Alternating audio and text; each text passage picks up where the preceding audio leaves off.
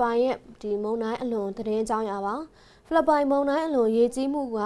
ရေကြီးမှုကြောင့်ပဲသေဆုံးသူအယောက်90ကျော်အထိကိုရှိလာတဲ့အကြောင်းပါ သေဆုံးသူတွေကဒါတဖြည်းဖြည်းနဲ့ဒါထပ်ပြီးမြင့်တက်လာရနော်ခုနကကိုတို့ဒီတင်းတင်ဆက်ပေးတော့ဆိုလို့ရှိရင်သေဆုံးသူအယောက်40ကျော်ခုဆိုလို့ရှိရင်50ကျော်ထိအောင်50ကျော်သွားတယ်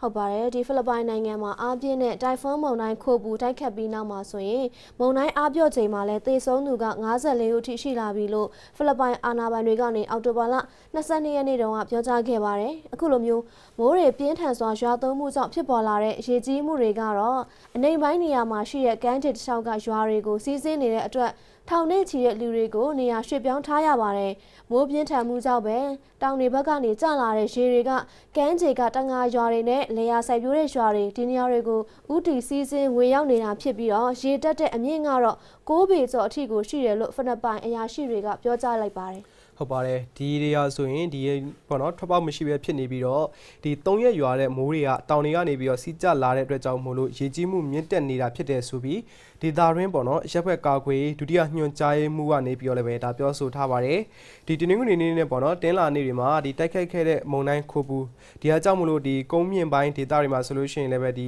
ချုပ်ပေါ့နော်ဒီမှာဆိုရင်လည်းပဲဒါရေကြီးမှုတွေတချို့နေရာတွေမှာဆိုလို့ရှိရင်ဒါရေကြီးမှုတွေဖြစ်ပေါ်ခဲ့တယ်ခြံဝမ်းဒေတာတွေမှာဆိုရင်လည်းပဲဒါရေစီစီးဝင်နေတဲ့အတွက်ကြောင့်မို့လည်းပဲ လူပေါင်း6000နီးပါးပေါ့သူတို့တွေကဆိုရင်လည်းပဲဒါနေအိမ်တွေကနေပြီးတော့ဘေးလွတ်ရာနေရာဒေတာတွေကိုလည်းပဲရွှေ့ပြောင်းနေကြရတယ်ဆိုပြီးသိရပါတယ်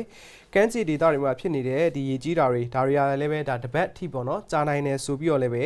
ဒါ Mr. Lon Tol ပေါ့နော်ခုနကဒီရပ်ဘက်ကကွေးဒုတိယညွှန်ကြားမှုဖြစ်တဲ့ Mr. Lon Tol ကနေပြီးတော့လည်းပဲဒါပြောဆိုထားပါတယ်ခင်ဗျဟုတ်ပါတယ်ဒီလက်ရှိအချိန်မှာဆိုရင်ရေကြီးလို့အတွက်ရွှေ့ပြောင်းနေရသူတွေကတော့9သိန်းနီးပါးအထိကိုရှိနေတယ်လို့ဖိလစ်ပိုင်အမျိုးသားတဘာဝဘေးအန္တရာယ်စောင့်ကြည့်ရေးရုံးကနေပြောကြားလိုက်ပါတယ် မုံတိုင်းခုပူကတော့လူစွန်ကျွန်းရဲ့ကမ်းရိုးတန်းအရှေ့ပိုင်းကိုပြီးခဲ့တဲ့တနင်္ဂနွေနေ့တုန်းကဝင်းရောက်တိုက်ခိုက်ခဲ့တာဖြစ်ပြီးတော့မုံတိုင်းတိုက်ချိန်မှာတနအီကိုလေတိုက်နှုန်းအနေနဲ့ကတော့မိုင်230အထိကိုရှိခဲ့တာပါမုံတိုင်းခုပူကတော့ဖိလစ်ပိုင်နိုင်ငံမှာအခုနှစ်တွင်တိုက်ခတ်ခဲ့တဲ့တိုင်ဖွန်းမုံတိုင်းတွေထဲမှာအကြီးဆုံးမုံတိုင်းတစ်ခုဖြစ်ပြီးတော့လူဦးရေအထူးထဆုံးဖြစ်တဲ့လူစွန်ကျွန်းမှာ3ရက်ကြာအောင်တိုက်ခိုက်ခဲ့တာလည်းဖြစ်ပါတယ်ဟုတ်ကဲ့ပါအခုဆိုရင်တော့ဒါ